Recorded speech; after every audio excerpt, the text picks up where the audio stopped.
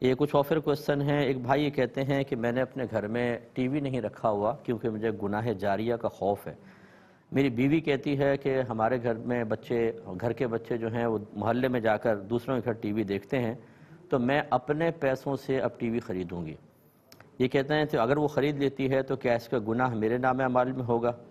और अगर मैं ना रखूँ, रखने दूँ तो घर में लड़ाई झगड़ा होता है और बात अलीहदगी तक पहुँच जाती है। क्या हुक्म शरा होगा?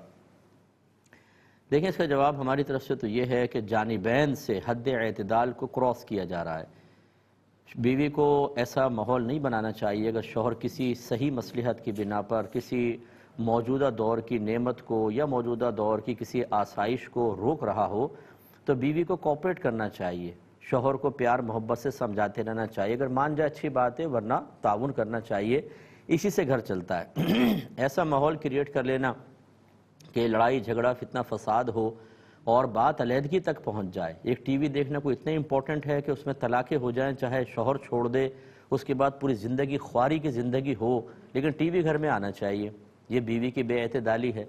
और ये शोहर की बेअतदाली ये है कि ये आपको किसने कहा कि अगर आप टीवी घर में रखेंगे तो हमेशा गुनाह जारिया होता है। टीवी में अच्छे प्रोग्राम भी आते हैं। आपको अपने ऊपर अतमाद होना चाहिए। अपनी तरबियत पर अतमाद होना चाहिए। अपने घर वालों को अच्छे अंदाज से आप तरबियत करें। अमूमी तौर पर बच्चे कार्टून देखते हैं। कार्टून में कौन सा गुनाह जारिया हो गया? अगर आप न्यूज़ चैनल्स वगैरह देखते हैं, मुल्की हालात पर वाकिफ़ होना हर समझदार आदमी के लिए इंतहाई ज़रूरी है, ताकि वो अपने फ्यूचर के मुनासिब फ़ैसले कर सके, मौजूदा हालात को जान सके, बर वक्त वो आने वाले ख़तरात से मुकाबला कर सके। इसी तरीके से और बहुत सारे चैनल्स होते हैं, जो इसलाही चैनल्स होते हैं, दीनी चैनल्स होते हैं, वो टी वी के बगैर आप नहीं देख सकते।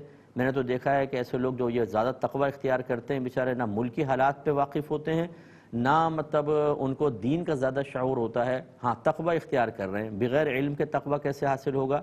लिहाजा शोहर को भी चाहिए कि इस पर पॉजिटिव सोचना शुरू करें और अपने घर में टीवी रखें, लेकिन उसका इस्तेमाल का तरीक़ा क्या होना चाहिए? कौन कौन सी चीज़ें देख सकते हैं?